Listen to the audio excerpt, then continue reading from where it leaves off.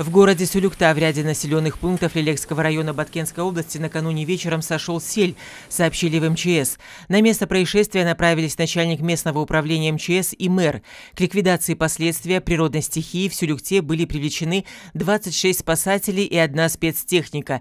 Сейчас на местах работают представители гражданской защиты. Спасатели устраняют последствия.